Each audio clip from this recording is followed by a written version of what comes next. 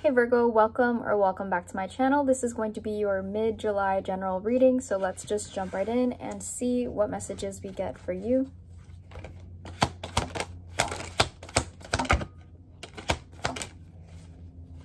All right, so we have the Ten of Swords at the bottom of the deck. So there could be something that's stressing you out, or maybe you feel defeated um, for something here. Hmm. All right, so we have the moon, the empress, the world, and the seven of cups. It really feels like you're stressing about the fact that you have a lot of choices to make. So it doesn't feel like it's a bad kind of stress. It's just like you're overwhelmed because there's a lot of unknowns, there's a lot of options, and at the end of the day, you're trying to figure something out that could affect really the rest of the year for you. The moon tells me that right now, the unknown parts about this, the reason why it's difficult to make the decision is because it can go in a lot of different ways. And ultimately, I feel like you just want to make the choice that you can feel happy about, that you can feel empowered about. And for some reason, I feel like this could have to do with some sort of job or major life event. Like maybe you're trying to figure out, do I have to move in order to, you know, find a better um, career? Do I have to make a sacrifice and travel? Do I have to go far away in order to really find something that I'm looking for here? And so I think the Seven of Cups is you kind of trying to analyze and ask all of these questions and figure out, okay, which is the best opportunity or method for me here.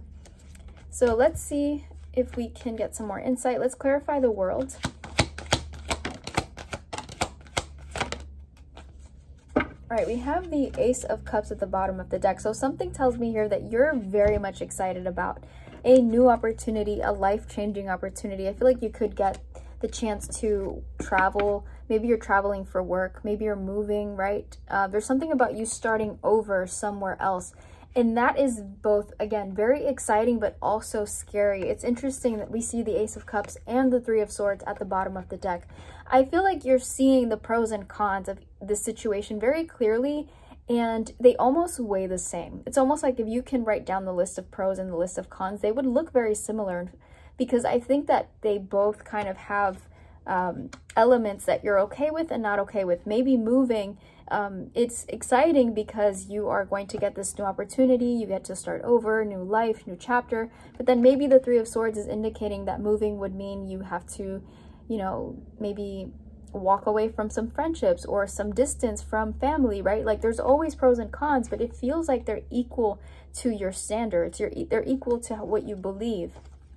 Like your, your values, your beliefs, everything is kind of being put into question but honestly, Virgo, I feel like at this time, the excitement of what this new, you know, life journey can give you is more appealing than staying where you're at. Because we have Wheel of Fortune, Two of Wands, and Page of Wands to further clarify the world. So that means that you're looking for adventure here. You're looking for something new. You're looking for an exciting time um, where you can learn more about yourself, where you can really explore something here. I feel like if this is about a career, then this is something you've wanted to do for a long time and you've been searching for an opportunity and you're finally getting it and you're just like, why would I say no to this? Two of Wands and the Wheel of Fortune also tells me that things are going to change a lot in your near future if you decide to go in a particular direction here. I feel like you've been making plans to do this for a very long time. And now that it's being presented to you, I just feel like you're starting to think about all of the ways that your life can change and you're very happy about it. So I think that right now you're just kind of like, you know, is this the right way for me to go? Should I be okay with this? Like you're trying to factor in um, how you feel, but ultimately there's there's a lot of like dedication to this. I feel like you've been wanting this, you've been planning for this, you've been manifesting this for a long time, and now you're finally getting it. So I think that really the choice is clear. Uh, there's still some things you're trying to figure out. So let's clarify the moon.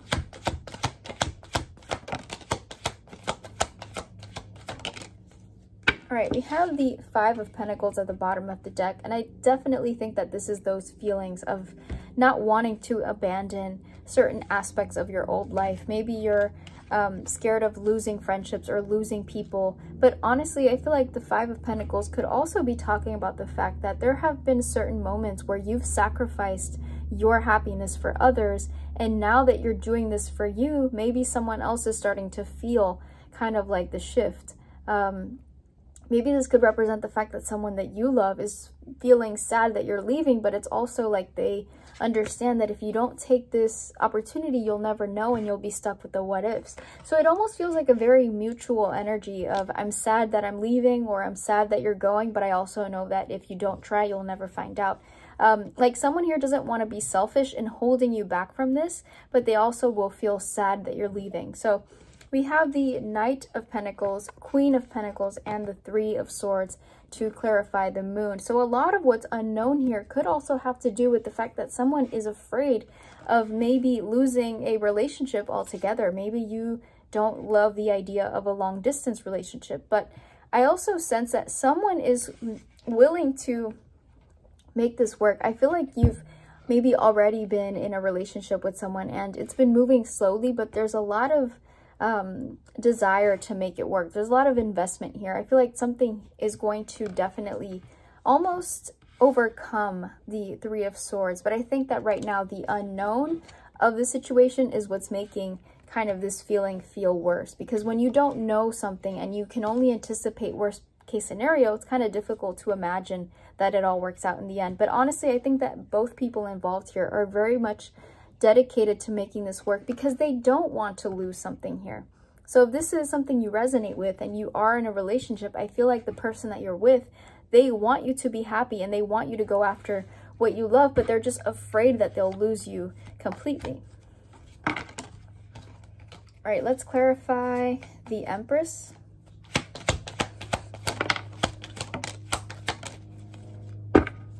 All right, Three of Wands at the bottom of the deck. I feel like the question here is, Virgo, will you stay or will you go? Because I feel like the Empress is saying that you have the choice to make here. You're being given this opportunity for a reason, and you're so close to making that decision. You're so close to taking that first move. And I really think that a part of you is seeing this as a chance to, you know, really do something that you love here and that gives you excitement and hope. And I think the star is saying this could be a really big thing for you that changes your life forever. And I think that you are just, you know, you're contemplating making that move. Um, and to further clarify the Empress, we also have Page of Cups, Nine of Cups, and Six of Pentacles. I feel like this is you kind of realizing if the person that I'm with is willing to um, work this out with me, then they will. I feel like Six of Pentacles is you hoping to see that exchange in effort, you hoping to see that balance. Um, and that investment. Honestly, Page of Cups and Nine of Cups tells me that you are both giving to yourself and also um, like this is like self-care and self-love because you're giving yourself an opportunity to maybe you know travel or go somewhere new or have a different type of work environment but you're also believing in yourself at the same time so it's not just self-fulfillment but it's self-love it's self-care there's a lot of things that you're doing here to honor you. And I feel like when it comes to your relationships, you're thinking in terms of, you know, if they really wanted to, then they would be there for me. They would support me. So I feel like the Six of Pentacles is you kind of redefining the balance in your life and not maybe giving so much to others, but really giving more to yourself and allowing that to be what moves you forward. Um, because I feel like a lot of you have been giving to your relationships. You've been nurturing your, you know, the people in your life. And now the Empress is saying it's time to do it for you. It's time to put all of that and redirect it to yourself and what you really love. So this Page of Cups and Nine of Cups is really that self-love, that self-fulfillment, um, and you moving forward in your own direction. All right, let's clarify the Seven of Cups.